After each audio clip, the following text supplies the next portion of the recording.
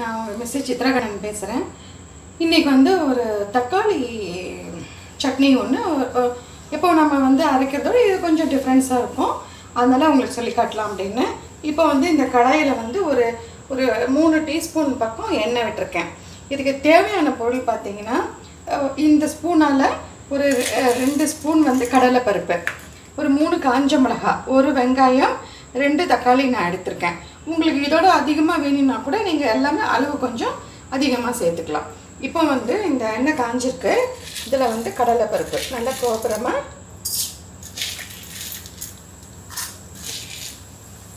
ரெண்டு ஸ்பூன். கடலைப்பருப்பு போட்டுக்கோங்க. இதுலேயே வந்து மிளகாய் வத்தல். இதுலேயே வந்து சாரி பூண்டு சொல்ல மறந்துட்டாங்க கரண்டி வச்சுருந்ததுனால மறைஞ்சிடுது ரெண்டு ரெண்டு மூணு பல்லு வந்து பூண்டு எடுத்திருக்கேன். இப்போ வந்து இதை வந்து நல்லா வந்து கோல்டன் ப்ரௌனில் சிம்மில் வச்சு கோல்டன் ப்ரௌனில் வறுக்கணும். ரெண்டாவது என்னென்னா நைட்டில் பூண்டு சேர்க்கலாமா அப்படின்னா கண்டிப்பாக சேர்க்கலாம். நம்ம வந்து தாய் மார்கள் பால் ஊற தாய் மார்களுக்கு என்ன பண்ணுவோம்? பாலில் பூண்டு ரெண்டு பல்ல ஒரு பல்ல போட்டு கொதிக்க வச்சு ஃபில்டர் பண்ணி நம்ம வந்து பால் ஊ ஊறுறதுக்காக தாய்மாருக்கு கொடுப்போம். அதேமாரி நம்ம வந்து தாராளமாக இதை வந்து நைட்டில் சேர்க்கலாம். நம்ம நிறைய குழம்பு அந்த மாதிரி நிறைய ஒரு கைப்பிடி அளவுக்கு பூண்டு சேர்ப்போம் இல்லையா? அது மாதிரி போடும்போது மட்டும்தான் நைட்டில் சேர்க்கக்கூடாது பகலில் வந்து நம்ம அதை எடுத்துக்கலாம். ரெண்டு பல்லு மூணு பல்லில் ஒன்றும் பயம் இல்லை இது நல்லா கோல்டன் ப்ரௌனில் வறுக்கட்டும்.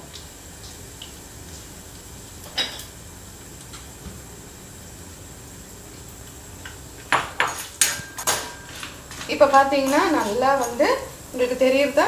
நல்லா வந்து கோல்டன் ப்ரௌனில் இந்த மாதிரி நல்லா கோல்டன் ப்ரௌனில் நல்லா மூணு ஐட்டமும் நல்லா வறுத்துட்டு இதை வந்து ஒரு பவுலில் எடுக்கணும்